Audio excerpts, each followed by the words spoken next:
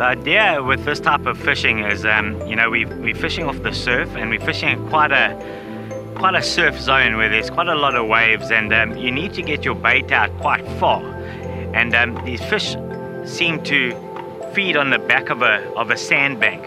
And with that, it means that you've got to get quite a big bait into the right body of water. And that always takes a quite a specific outfit. You know, we fish with quite long rods, quite heavy tackle, and you you got to try and balance it out. The the heaviness of your tackle i mean how thick your line is and how heavy your traces and all that terminal stuff to also to see what you can actually cast um, that distance to get your bait in the right uh, body of water. So it ends up being quite technical. But what we do is uh, there's a few little techniques that we use to try and help us along the way. And one of them is the is the dingle dangle technique and that basically is you, you build a bait in an aerodynamic um, design, which, uh, which has a thing called a dingle through it, which is basically a wire piece with a loop on the end. And you design your bait in an aerodynamic um, way that when it goes through the air, it's actually hooked onto your sinker um, and it sticks together. So you don't have the resistance in the air with the bait sort of swinging around all over the place and the sinker going in the other direction. So when you hook it on like that, you cast it and it goes quite a long way. Um, so all these different little tips and techniques help you get that nice big bait in the right body of water to target that nice big species.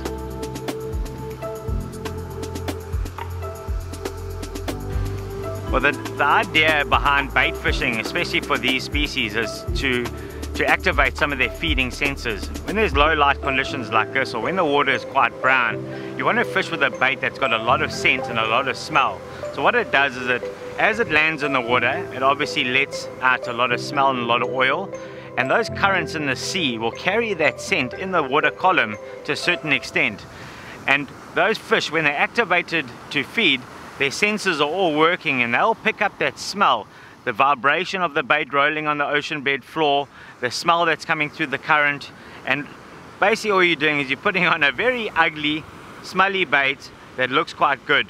And with the swell and the surge, that will roll on the ocean floor and that smell will get out in the currents. And when he's lying there and he's waiting for some food and all of a sudden he picks up that smell, he will follow that all the way to come and eat it. And uh, basically you'll arrive on the bait by just sitting on it and you'll and you'll start munching it. And um, and then from there hopefully you'll, you'll start swimming away and that's when you can set the hook. So a lot of smell a little bit of vibration but uh, we want to attract that big sand shark.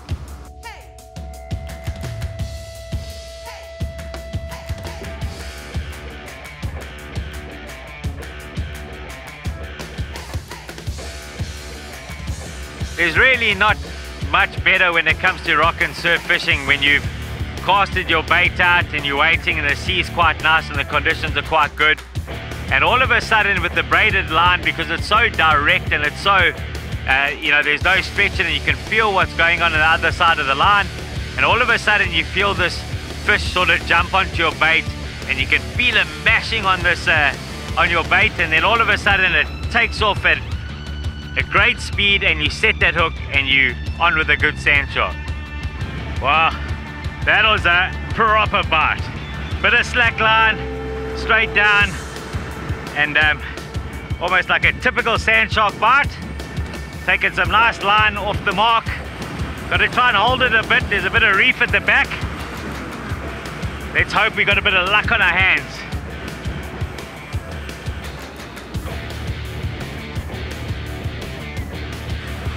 This sand shark fishing is absolutely amazing bit sore in the back and the body, but uh, it's too good. Not a giant fish, but lovely to catch.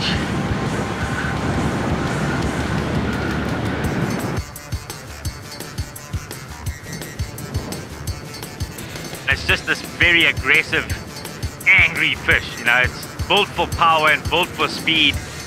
The reason why we love targeting them is just because it's a a proper fight. You know, you've got a, a big tussle on your hand.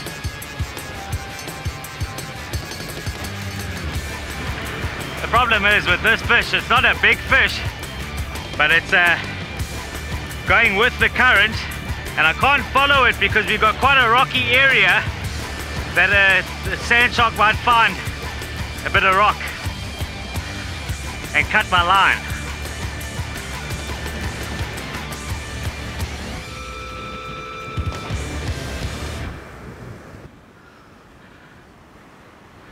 But if you have a look at it, it's got two dorsal fins and a tail fin. It's got these big mus muscular bodies and it's just really built for power.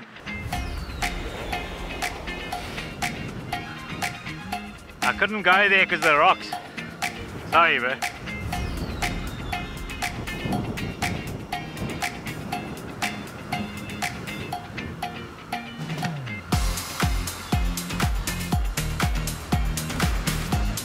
Just quickly before I put this fish back, um, in the mouth, I'll show you the mouth quickly. It's got a lot of, it's got a very hard sort of plate that's got these little teeth in it. They aren't sharp teeth, but it's almost just like a crushing machine. But in here, in this area here, there are two plates of bone that absolutely act like a crushing machine. So anything that goes into its mouth, like crayfish or crabs or anything that he's trying to eat, he uses his bone to smash it and kill whatever he wants to want, wants for dinner. And it's absolutely a machine of a fish. And this is why it's so targeted in our area and our coastline. But being as it is, it's a beautiful fish. Let's get him back. For me, this is my favorite species to catch, and I love looking after them and getting them back in the water. Mr. Sand Shark.